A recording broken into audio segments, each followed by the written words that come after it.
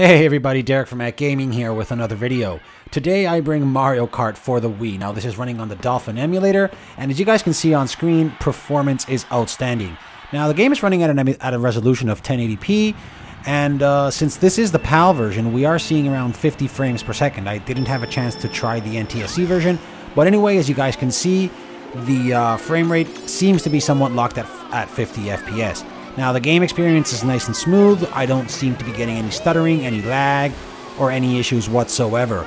Now regarding resources, well as you guys can see also, uh, the Dolphin emulator is using about 1 gigabyte of RAM, CPU hovers around 30 to 40%, and temperatures, well at least in my short testing, didn't go over 75, 76 degrees, so all in all, you guys should be good. Now, as usual, you can always drop the resolution to 720p just in case that temperature goes way high, and uh, you know just to avoid thermal throttling and whatnot. But yeah, all in all, guys, um, this seems like the uh, Mario Kart is playable on the Wii. I haven't tested online gameplay or playing with other controllers, uh, like local co-op and whatnot. But um, yeah, at first glance, uh, the game is good and it's running. So guys, as usual, please enjoy the video.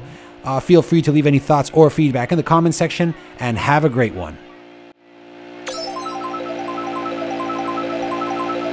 Mario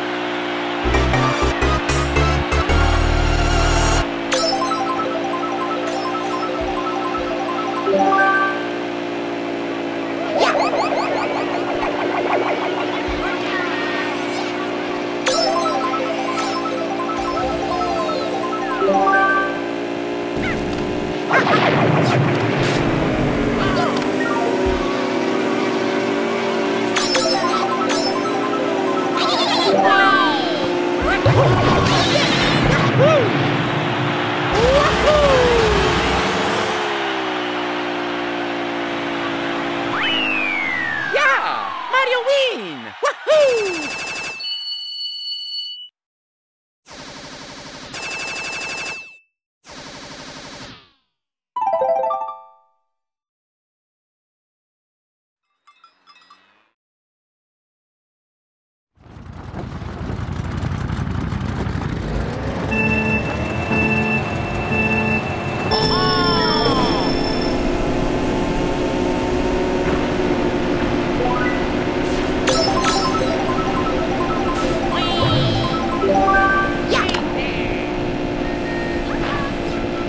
You.